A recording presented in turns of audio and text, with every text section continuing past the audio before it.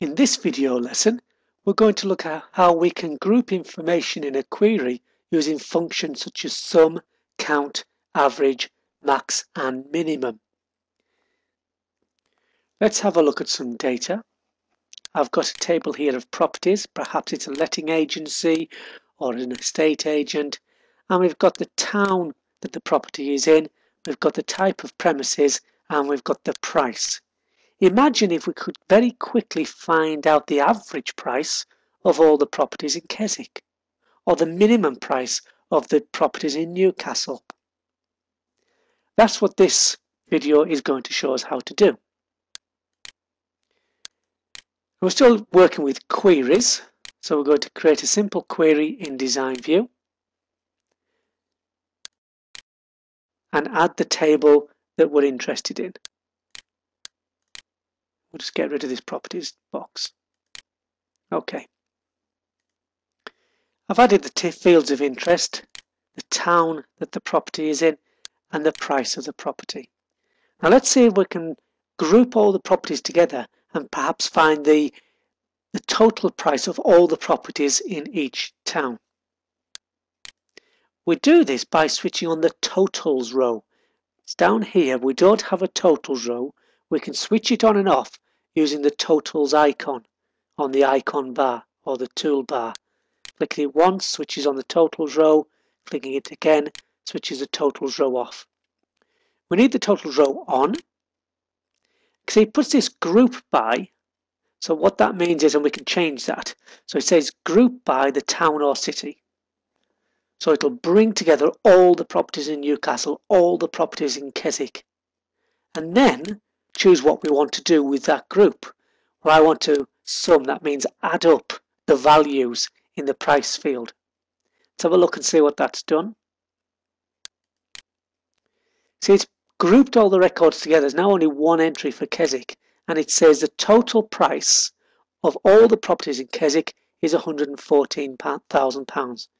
The total price of all the properties in York is £178,000. Let's have a look and see the effect where we can combine that with criteria. So perhaps we only want to find the properties in York. So we can put that into the criteria field. And when we have a look, we can see there we are, just in York, the total price of properties is 178,000. If we didn't have the totals row on, we'll take it off. Then we're in a normal simple select query process now. We have a look at that data. You can see there's there's only two records, but each individual record is shown. 178,000. Using the grouping, however,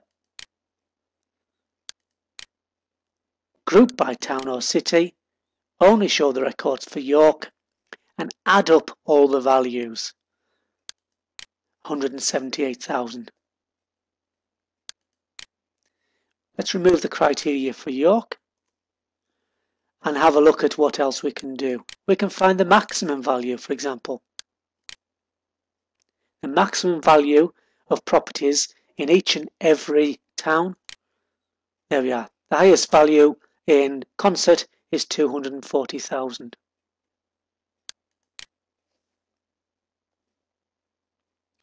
Let's just clear the grid That just removes all the fields from our grid at the bottom and build that up again. Let's put the switch the totals off. Put the town or city in, the type of premises and the price of the premises. And let's have a look at the data. If I just sort by town or city, you'll see that some of the towns, for example, there's Durham has got four different records it's got manufacturing room, office rooms, two, two office rooms and a storeroom. If we switch the totals back on, what we can do is group by the town, so group all those towns together, then group by the type of premises. So it'll put all the similar premises together. And then let's find for each type of premises the average price. So this is going to show us the average price for each type of premises in each town.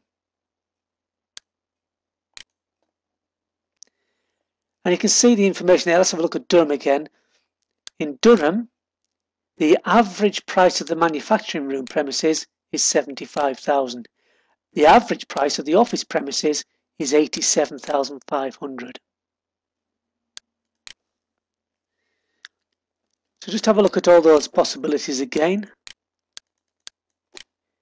We can sum, we can average, minimum, maximum, count, and then there's a few functions there that you'll not need to know about and not need to use.